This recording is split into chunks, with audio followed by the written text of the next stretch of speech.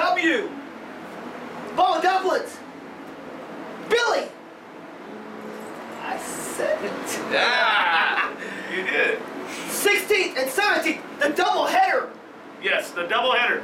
March 16th, Friday, Killeen, Texas, WAW Fight for Sight Laramie Fest 2. Tell you what we're going to be doing out there is we're holding a show to get this kid the benefit of sight. Hooters and Hot Wings. Hooters and Hot Wings.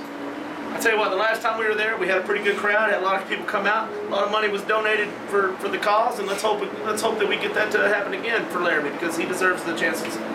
The deserves the chance to see. He will see. He will see. We'll see. Now, the 17th. Waco.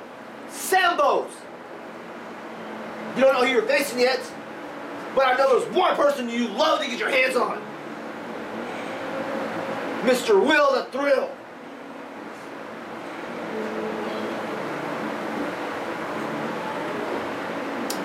That's right. Saturday, March 17th, WAW at Sambo's. Triple threat match. That's what they're calling it. Well, the match that I care about is the match is, is when I get Willie in the middle of the ring. But I don't know if that's going to happen because I don't know if the management there at WAW wants it to happen. Because I think they're afraid of what will happen when it go when it takes place. When I get my hands on Willie. He tried to take out my damn knee the last show, Billy. You were there, you saw it. All, all because I beat him two shows ago.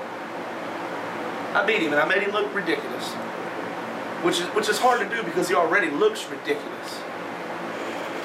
So, last show at WAW, I try to do the right thing. I try to help out Sammy Haggard. When Willie's taking advantage of a situation, he's got a downed opponent. He's already, he's already made his point.